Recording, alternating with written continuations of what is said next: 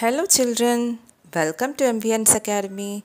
This is the second lecture of the chapter Nelson Mandela Long Walk to Freedom.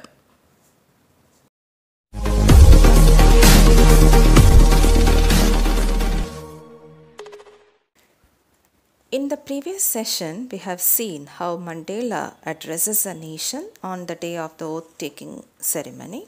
And uh, in this section, we'll be seeing an overview as to how Nelson Mandela, along with others, carved their way to a society where there will be no discrimination based on color, caste, race, or gender. Previous session में हमने देख लिया था Nelson Mandela कैसे अपना ceremony में अपने inauguration day में कैसे लोगों को एड्रेस करते हैं, वहाँ पर डिस्टिंग्विश्ड और इंटरनेशनल गेस्ट भी थे और भी लोग थे। और कैसे उन्होंने एड्रेस किया था, ये सब देखा था।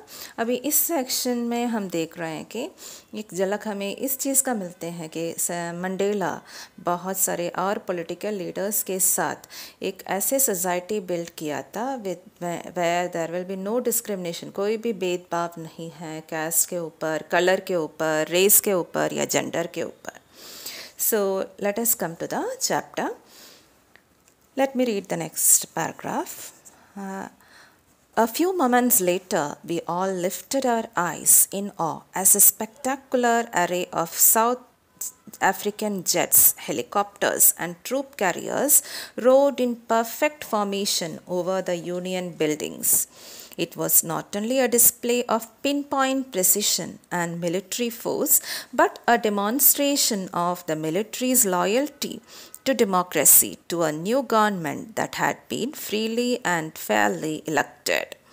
Only moments before the highest of generals of the South African Defence Force and police, their chest bedecked with ribbons, medals from days gone by, saluted me and pledged their loyalty. I was not unmindful of the fact that not so many years before they would not have saluted but arrested me. Finally, a chevron of Impala jets left a smoke trail of black, red, green, blue, and gold of the new South African flag. So, a few moments later, we all lifted our eyes in awe as a spectacular array of South African jets, helicopters, and troop carriers rode in perfect formation over the Union buildings. So, all these uh, things were happening on uh, over the Union buildings, the amphitheater. Amphi and यहाँ पर जो भी होता है कि जैसे ही Nelson Mandela ना नेल्सन मंडेला ने नेशन को एड्रेस किया और उसके बाद उन्होंने देखा कि वहाँ पर इतने बहुत एक अमेजिंग साइट था कि वहाँ पर एक ब्यूटीफुल या एक अमेजिंग साइट ये था कि जब जैसे ही हम लोगों ने अपने आइज़ ऊपर किया तो हमने एक्चुअली स्काई में देखा कि शानदार तरीके से एक अच्छा सा impressive display of South African jets helicopters और सैन्य दलों का ट्रूप कैरियर्स का। इतने अच्छे एक डिस्प्ले हो रहे थे वहाँ पर कि, है ना, वो बहुत शानदार था देखने के लिए जिसमें एक हेलीकॉप्टर्स का ट्रूप्स ट्रूप कैरियर का एक ऐसे कलरफुल एंड अट्रैक्टिव वे में उन्होंने एक डिस्प्ले किया था स्काई में। और it was really it was really good to see those side. It was not only a display of pinpoint precision and military force, but a demonstration of military's loyalty to democracy, to a new government that had been freely and fairly elected. So ये प्रदर्शन ये display जो हुआ था it was uh, uh, it was a display of pinpoint. It was not only a display of pinpoint precision. मतलब ये जो symbolize किया है accuracy का ही नहीं था मतलब वो जो डिफेंस पर्सन सिविलियंस या जो भी सेना के लोग जो अपने प्रिसीशन का, अपना एक्यूरेसी का ही प्रदर्शन नहीं कर रहे थे, बल्कि it was also their loyalty their respect to the democracy that has been newly form that has been freely and fairly elected जो स्वतंत्र और निष्पक्ष रूप में इलेक्ट हुआ है, वो गवर्नमेंट के गवर्नमेंट के को अपना रेस्पेक्ट भी वो दिखा रहे थे। Only moments before the highest generals of the South African defence force and police their chests bedecked with ribbons and medals from days gone by saluted me and pledged their loyalty अभी उसके पहले उसके कुछ moments पहले मैंने देखा था कि जो जनरल्स हैं हाईएस्ट आर्मी ऑफिसर्स जो थे साउथ अफ्रीकन डिफेंस फोर्स के और पुलिस के उन्होंने उनके चेस्ट पर तो ऐसे रिबन सजे हुए थे बीटेक्ट बीटेक्ट का मतलब होता है डेकोरेटेड या सजे हुए थे ribbons and medals that has been given to them in the days gone और in the past and now they saluted me they saluted me मतलब यहाँ पर जो आर्मी ऑफिसर्स या डिफेंस ऑफिसर्स या पुलिस ऑफिसर्स जो भी थे, जिनके चेस्ट में बहुत सारे रिबन्स या अवार्ड्स या मेडल्स थे, वो सारे नेल्सन मंडेले के सा मंडेला के सामने आ गया और उनको सल्यूट किया। And pledge the their loyalty and they promised their loyalty to the great leader जो नए लीडर उन्होंने चुन लिया है, उनको अपना रेस्पेक्ट दिखाया, अपना प्रॉमिस दिखाया लॉयल्टी का। I was not unmindful of the fact that not so many years before they would not have saluted but arrested me मुझे ये भी चीज़ का I was not unmindful unmindful का मतलब है कि मैं बहुत अच्छी तरह जानते थे। आई वॉज़ नॉट अनअवेयर मतलब मैं पूरी तरह ये अवेयर था कि अगर ये कुछ साल पहले होता तो ये रेस्पेक्ट सल्यूट के रूप में मुझे नहीं मिलते, बल्कि वो लोग मुझे अरेस्ट कर लेते। क्योंकि आपको पता ही है कि वाइट सुप्रीमसी जिस टाइम रूल कर रहे थे, तब नेल्सन मंडेला को तो एक क्रिमिनल के रूप में ट्रीट किया गया था। So he very well knew that some years before they would have definitely arrested him and not saluted him. Finally, a chevron of Impala jets left a smoke trail of black, red, green, blue and gold of the new South African flag. बाद में एक I mean chevron chevron का मतलब होता है a pattern in the shape of V V shape का एक pattern एक एयर शो है साउथ अफ्रीकन जो आर्मी ने एक एयर शो भी दिखाया जिसमें उन्होंने एक इम्पाला जेट फ्लाई कर रहे थे और उसमें से स्मोक जो निकल रहे थे वो स्मोक का colour black red green blue and gold का था जो symbolised the flag of South Africa जिस जो साउथ अफ्रीकन फ्लैग का सिंबल उन्होंने उस एयर शो के थ्रू दिखाया. Now, coming to the next paragraph, the day was symbolized for me by the playing of our two national anthems and the vision of whites singing Kosi Sikelel, uh, Sikeleli Africa and black singing Daistam, the old anthem of Republic. Although that day neither group knew the lyrics of the anthem they once despised, they would soon know the words by heart. Nelson Mandela इस paragraph में ये बता रहे हैं कि The day was symbolized for me by the playing of our two national anthems. पहले ऐसे होते थे कि ब्लैक का अलग सा नेशनल एंथम होता था और वाइट पीपल का अलग सा और ब्लैक अपने ओकेशन पर अपना एंथम गाते थे और वाइट्स अपना लेकिन आज जो पहली बार दोनों नेशनल एंथम्स जो हैं वो जो दोनों मतलब राष्ट्रीय गान जो हैं वो दोनों प्ले कर रहे थे and the vision of white singing और एक्चुअली खोसी सिकलेली अफ्रीका वो it was the anthem of the black people but now uh, the white people were singing it and the blacks were singing the Daistam. Daistam, it is an old anthem of the Republic. Republic का anthem था अभी एक दूसरे के national anthem सब लोग गाने लगा although that day neither group knew the lyrics of the anthem they once despised, they would soon know the words by heart. Mandela says that both neither of the group, matlab the blacks were not able to uh, sing the anthem of the whites properly. Similarly, the whites were not able to sing the anthem of the black. But वो क्योंकि एक दूसरे को तो वो अपने lyrics ठीक से जानते नहीं थे। क्योंकि इतने साल तक तो उन्होंने एक दूसरे को तिरस्कार किया है, एक दूसरे को डिसरिगार्ड किया है। But Mandela says that soon they will know the words by heart अभी बहुत जल्दी ही दोनों बाय हार्ट हो जाएँगे लोगों से। Now, coming to the next paragraph.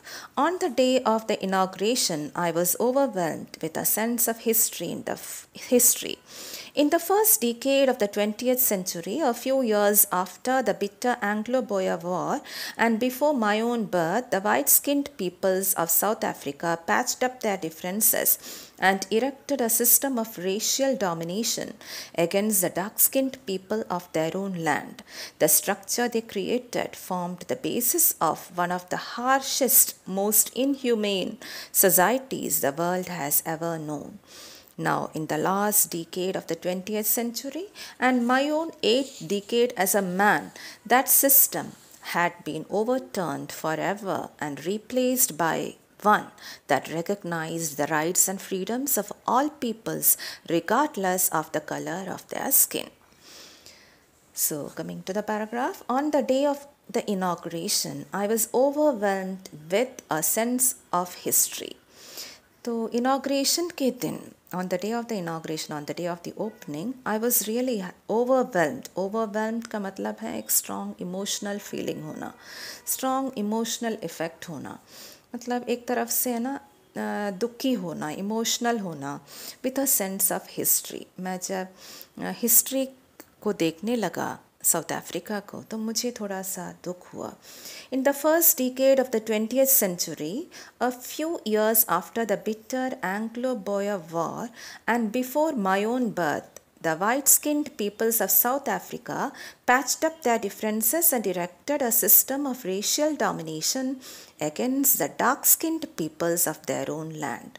So, in the first decade of the 20th century, 20th century के first 10 years में उन्होंने देखा था कि वही टाइम है जिस टाइम नेल्सन मंडेला का भी बर्थ नहीं हुआ था।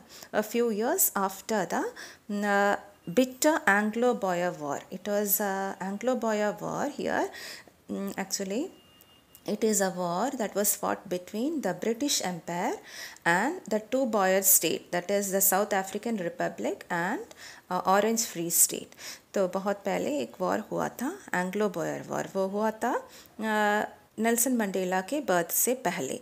तो उस टाइम से ये white skinned people South Africa के जो वाइट स्किन्ड लोग हैं, उन्होंने एक पैच अप किया था।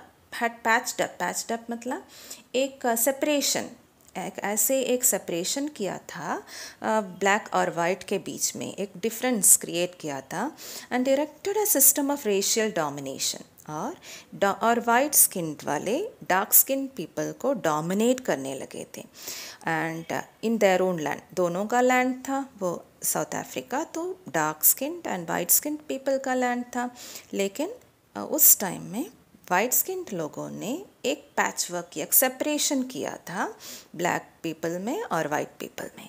The structure they created form the basis of one of the harshest most inhumane societies the world has ever known तो उस टाइम उन्होंने जो स्ट्रक्चर क्रिएट किया था, उन्होंने जो डिफरेंसेस क्रिएट किया था, जो रेशियल डिस्क्रिमिनेशन उन्होंने क्रिएट किया था, वो पूरे वर्ल्ड का सबसे harshest and most inhuman society का इनह्यूमन ट्रीटमेंट था।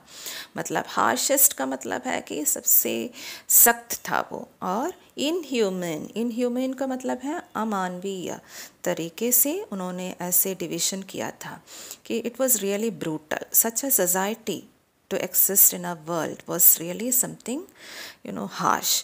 So now, in the last decade of the 20th century and my own eighth decade as a man, तो अभी मैं जैसे ही खड़े हूँ तो अभी जब ये बुक वो लिख रहा था तब वो last decade of twenty century में था मतलब नाइनटीन नाइन्टीज़ में था। And my own eight decade as a man my own eight decade as a man means Nelson Mandela he was also in his seventies वो seventy और seventy nine years के बीच में था। और उस time that system had been overturned अभी इस टाइम जो पहले शुरू हो गया था, जो first decade of twenty century में शुरू हो गया था और last decade of twenty century में वो ख़त्म होने वाला है। वो सिस्टम हमेशा के लिए ख़त्म होने वाला है। It has overturned for ever मतलब हमेशा के लिए वो रेशियल डिस्क्रिमिनेशन वाला जो पैचवर्क उन्होंने किया था, वो ख़त्म हो रहे हैं। And replaced by one that recognise the rights and freedoms of all people regardless of the colour of their skin मतलब कि अभी ये जो सिस्टम रिप्लेस हुआ है, जो अभी अधिकार में आए हैं, वो एक ऐसा सिस्टम है जो सबके राइट्स और फ्रीडम को समझ रखे हैं। मतलब उसमें अधिकार और स्वतंत्रता है सबको regardless of the colour of the skin अपने कलर क्रीड या जेंडर से कोई मतलब नहीं है, अपने स्किन कलर से भी कोई मतलब नहीं है। वो सिस्टम जो पहले था, वो अभी हमेशा के लिए ख़त्म हो गया है। अभी सबको फ्रीडम है, सबको राइट भी है। Okay so that is end of that paragraph now coming to the next paragraph that day had come about through the unimaginable sacrifices of thousands of my people people who suffer, whose suffering and courage can never be counted or repaid. I felt that day, as I have as I have on so many other days, that I was simply the sum of all those African patriots who had gone before me. That long and noble line ended and now began again with me. I was pained that I was not able to thank them and that they were not able to see what their sacrifices had wrought. So that day had come back, come about through the unimaginable sacrifices of thousands of my people. So so, ये जो दिन अभी हमें मिला है कि सबको freedom है कोई भी बावे भेदभाव नहीं है so that day has come about through the unimaginable sacrifices of thousands of my people मेरे ही हज़ारों लोगों के मेहनत या सेक्रीफाइस या त्याग का परिणाम है। वो दैट देखो it was something unimaginable it was something impossible एक ज़माने पर हम सो, पर तो हम सोच भी नहीं सकते थे कि हमें ऐसा एक फ्रीडम मिलेंगे। लेकिन बहुत सारे लोगों के सेक्रीफाइस के बाद हमें ये फ्रीडम मिला है। People who suffering and courage can never be counted और रिपेड और those people who had suffered for that उसके लिए जो जो पीपल सफ़र किया था, अपने मतलब सफ़रिंग एंड करेज उनके सफ़रिंग और उनके करेज उनके जो धैर्य, उनका जो करेज जो है, वो that can never be counted उसको हम काउंट नहीं कर सकते हैं और उनको हम रीपे भी नहीं कर सकते हैं। उनको हम दोबारा पे नहीं कर सकते हैं। इतने सारे सफ़रिंग इतने सारा पीड़ा उन्होंने सफ़र किया था अपनी लाइफ में। I felt that day as I have on so many so many other days that I was simply the sum of all those African patriots who had gone before me. तो आज मुझे ऐसे लग रहा था I felt that day as I have on so many other days तो मुझे ये फीलिंग बहुत पहले ही होते थे कि कितने लोगों के सफरिंग का नतीजा है ये जो फ्रीडम अभी हमें जो मिला है दैट आई वॉज़ सिंपली और मुझे अभी जो फ्रीडम मुझे मिला है that is sum total of all those sufferings that had been undergone by African patriots जो अफ्रीकन पेट्रियाट्स जो देशभक्तों ने जो प्रयास किया था, जो सफरिंग दिया था अपने ज़िंदगी में तो उसी का नतीजा है कि मैं आज आपके सामने खड़े हो so that long and noble line ended and now began again with me. so वो noble line का end तो हो गया था लेकिन अभी मेरे में एक बार और उनका बिगनिंग हो रहा है। I was pained that I was not able to thank them and that they were not able to see what their sacrifices had wrought so मुझे एक्चुअली आई वॉज़ पेन्ड मुझे दर्द हो रहा था। I was really disturbed that I was not able to thank them मुझे, है ना, उन लोगों को थैंक्स बोलने का मौका चांस भी नहीं मिला था। दैट दे वर नॉट और उन लोगों को ये दिन देखने का भी मतलब चांस नहीं मिला है कि able to see what their sacrifices had wrought wrought है ना एक्चुअली वर्क का ओल्ड इंग्लिश फॉर्म है रॉट सो यहाँ पर जो वर्क बहुत सारे अफ्रीकन पेट्रियाट्स ने किया था, उन्हीं का नतीजा है आज का जो फ्रीडम है, जो आज जो भेदभाव नहीं है, आज जो नया जो पार्टी जो पावर पर आया है एक्चुअली नेल्सन मंडेला का जो पावर है, वो बहुत सारे लोगों के सेक्रीफाइस का नतीजा है। Now coming to the next paragraph the policy of a apartheid created a deep and lasting wound in my country and my people all of us will spend many years if not generation recovering from that profound hurt But the decades of oppression and brutality had another unintended effect, and that was that it produced the Oliver Tampos, the Walter Zizolo, the Chief Lotulai, the Yusuf Dadu, the Bram Fisher, the Robert Sabuko of our time, men of such extraordinary courage, wisdom, and generosity that their like may never be known again. Perhaps it requires such depths of oppression to create such heights of character. My country is rich in minerals and gems that lie beneath its soil, but I have always known that its greatest wealth is its people, finer and truer than the purest diamonds. The policy of apartheid created a deep and lasting wound in my country and my people. The policy of apartheid, what do you mean by? I have already told you the meaning of apartheid. It is the division on the basis of caste, color, creed, etc. Especially जो white and black जो raise हैं, उनके ऊपर जो differences था, वो था apartheid सो वो पॉलिसी जो क्रिएट किया था, वो इतना गहरा deep and lasting wound in my country it had left it had created a deep and lasting wound मतलब इतने डेप्थ पर एक वूंड वूंड का मतलब क्या है? एक घाव एवर लास्टिंग मतलब। कभी वो जल्दी ख़त्म होने वाले या जल्दी आ, मतलब सूखने वाला वूंड नहीं है वो वूंड जो मेरे कंट्री और मेरे पीपल ने सह लिया था। All of us will spend many years if not generations recovering from that profound hurt अभी हमें देखो बहुत टाइम लगेंगे। उस पर्टिकुलर वूंड से वो एवर लास्टिंग वूंड से छुटकारा पाना, उसमें से बाहर आने के लिए हमें बहुत टाइम लगेंगे। जनरेशन्स लगेंगे मतलब जनरेशन आफ्टर जनरेशन को सफ़र करना पड़ेगा मतलब उसको मेहनत करना पड़ेगा, उसको टाइम लगेंगे उससे रिकवर करने के लिए। From that profound hurt profound का मतलब होता है ग्रेट ज़्यादा। वो हर्ट हर्ट का मतलब है चोट उस चोट से बाहर आने के लिए हमें टाइम लगेंगे। But the decades of operation and brutality had another unintended effect unintended effect and that was that it produced the Oliver Tambo the Walter Sisulu the chief Luthuli the Yusuf Dadoo the Bram Fischer the Robert Sobukwe of our time, men of such extraordinary courage, wisdom, and generosity that their like may never be known again. So here there are some some prominent names are given and uh, they are they are all the people who were involved in the struggle against apartheid so ये जो भी leaders के बारे में वो सबको remember कर रहे हैं इस अवसर पर but the decades of operation जो जितने भी ईयर्स हम ऑपरेशन में था, हम दबाव में था एंड ब्रुटैलिटी हैड अनादर और क्रूअल्टी भी था ब्रुटैलिटी भी था, और हैड अनादर अनइंटेड लेकिन ये ब्रुटैलिटी या क्रूअल्टी या ऑपरेशन ये सब हमें इट अनइंटेंडेड इफ़ेक्ट एक अनप्लान्ड इफ़ेक्ट लेकर आया था कि हमें ऐसे लीडर्स मिला था।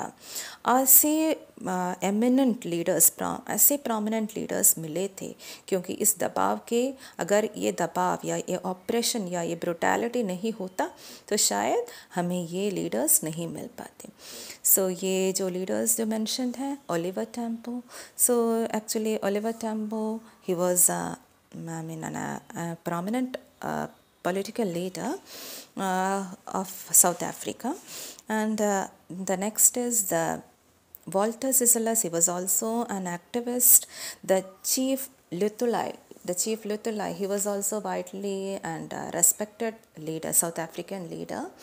Then there is a reference to Yusuf Dadu. Yusuf Dadu, you know, he was also a South African communist and an anti-apartheid activist activist भी था वो। गपूरा नाम था, Yusuf Mohammed Dadoo. He was the chair of both South African National Congress as well as South African Communist Party दोनों का chair था वो। Then the Bram Fischer Bram Fischer was also he was also an eminent political leader he was a South African lawyer his a full name was Abraham Louis Fischer okay and then the Robert Sobukwe Robert Sobukwe. He was uh, he had founded the Pan Africanist Congress, जो apartheid system को against हुआ था. Okay, so all these men who are mentioned here are of such extraordinary courage. ये सारे men जो भी mentioned है, they had given up, they had given their struggle against apartheid in the past, and their courage, their wisdom, and their generosity अभी आगे हमें देखने को नहीं मिलेंगे। We will never get such people ऐसे इतने साहस और इतनी बुद्धि वाले, इतने उतार उतार मन वाले लोगों को आगे नहीं मिलेंगे। Perhaps it requires such depths of oppression to create such heights of character. Perhaps इनके character ऐसे होने ke वजह प्रॉबली ये हो सकता है कि उन्होंने उतना दबाव सह लिया था उतना गहरा दबाव डेप्स ऑफ़ ऑपरेशन का मतलब है उतना दबाव सह लिया था तो इसलिए to create such heights of character इसलिए इनके कैरेक्टर जो हैं, इतने एक्स्ट्रा बन गए थे। My country is rich in minerals and gems that lie beneath its soil but I have always known that its greatest wealth is its people finer and truer than the purest diamonds तो मेरे country जो South Africa है it is rich in minerals you all know that South Africa is rich in diamond gold iron platinum manganese copper silver coal etcetera etcetera etcetera बहुत सारे minerals हैं South Africa में।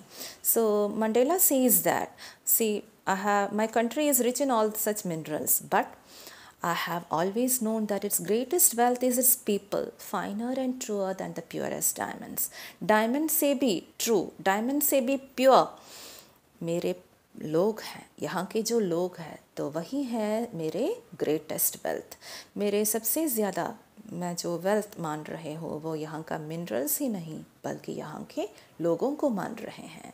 The people are my greatest wealth it coming to the next paragraph it is from these comrades in the struggle that I learn the meaning of courage time and again I have seen man and women risk and give the life for an idea I have seen man stand up to attacks and torture without breaking showing a strength and resilience that defies the imagination. I learned that courage was not the absence of fear, but the triumph over it. The brave man is not he who does not feel afraid, but he who conquers that fear. So, it is from these comrades in the struggle that I learned the meaning of courage. So, it is from these comrades, comrades means fellow people या fellow men. यही मेरे friends से यही मेरे fellow man से मैंने actually करेज का meaning सीख लिया था धैर्य क्या है ये मैंने उन्हीं से सीख लिया था time and again I have seen men and women risk and give the lives for an idea बहुत बार मैंने देखा है लोग मैन भी है वेमेन भी है जो अपने लाइफ को रिस्क पर रखते हैं कोई भी रीज़न के लिए। कोई भी कॉज के लिए वो आगे आते हैं I have seen man stand up to attacks and torture without breaking, showing a strength and resilience that defies the imagination. So मैंने ये भी देखा है कि बहुत सारे मैन अटैक में भी या टॉर्चर में भी अपने आप को मतलब ब्रेक होने नहीं देते हैं शोइंग अ स्ट्रेंथ वो इतना स्ट्रेंथ दिखाते हैं कि मतलब उनके अंदर इतना कैपेसिटी है रिसाइलियंस का मतलब होता है the capacity to recover from difficulties कोई भी डिफ़िकल्टीज़ हो उस पर काबू पाना। सो so, ऐसे एक पावर दिखाते हैं लोग दैट डिफाइज द इमेजिनेशन और वो डिफाइज का मतलब है रफ्यूज़ टू ओबे वो इमेजिनेशन को भी रफ्यूज़ करते हैं। I learned that courage was not the absence of fear but the triumph over it. और एक बात मैंने सीख लिया था कि है ना कि करेज क्या होता है? It is actually not the absence of fire fear courage का मीनिंग फियर नहीं है, वो नहीं है. It is a victory over it it is a triumph over it विजय पाना है. फियर पर काबू पाना. फियर पर विजय पाना वही है actually courage the brave man is not he who does not feel afraid but he who conquers that fear according to him brave person वही होता है जो धैर्य आदमी वही होता है जो आ, वो नहीं होता है जिनको फियर नहीं है. Who does not feel afraid वो पर्सन नहीं है. लेकिन ब्रेव मैन वो होता है जो उस फियर को कॉन्क्योर करे उस कॉन उस फियर का सामना करे और उस पर विजय पाले उस पर काबू पाले उस पर विक्ट्री हो जाए. ठीक है? Now, coming to the next paragraph, no one is born hating another person because of the color of his skin or his background or his religion. People must learn to hate. And if they can learn to hate, they can be taught to love. For love comes more naturally to the human heart than its opposite. Even in the grimmest times in prison, when my comrades and I were pushed to our limits, I would see a glimmer of humanity in one of the guards, perhaps just for a second. But it was enough to reassure me and keep me going. Man's goodness is a flame that can be hidden but never extinguished. So, no one is born hating another person because of the color of his skin or his background or his religion. See actually one a person one a child is born उनको पता नहीं है कि black क्या होता है white क्या होता है रिलीजन क्या है बैकग्राउंड क्या है रिच क्या है पुअर क्या है ये सब तो पता नहीं होता है। ये सब वो लर्न करते हैं अपने फैमिली से अपने सराउंडिंग से है ना? सो so, ऐसे किसी का बात नहीं होता है कि किसी को हेट करते हुए। People must learn to hate देखो मंडेला बोल रहे हैं यहाँ पर कि लोगों को तो हेट करना मतलब एक दूसरे से घृणा पैदा करना सीखना है, तभी तो वो तभी तो उनको पता होगा कि लव क्या है। People must learn to hate people लोगों को ये पता होना चाहिए कि हेट क्या चीज़ होता है।